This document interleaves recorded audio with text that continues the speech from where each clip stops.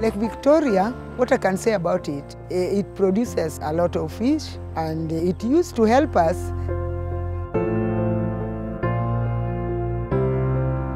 I sell fish. I take them from the fishermen. I buy at a certain price.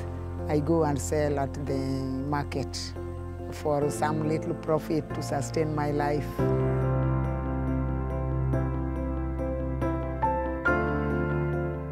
In the lake, the water is not fit for human consumption.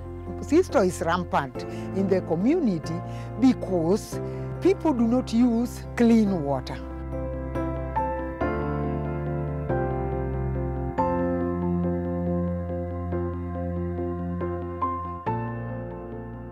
People around here stay for long hours in water. That is where they contact the disease, our waterborne disease. As a community health worker, I've been going around the houses. I find many cases of schisto. You can see a child, the lips are dry, tummy swollen, even the feet are swollen, and the child or the lady or the man has lost appetite.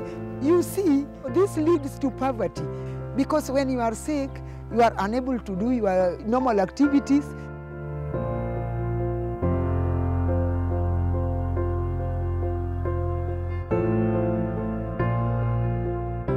After they take the pill, there is a great change. People are energetic, they do their activities, they are happy, they are healthy, and things keep on moving smoothly. When you have a, a healthy community, people can share, can help one another. Yeah.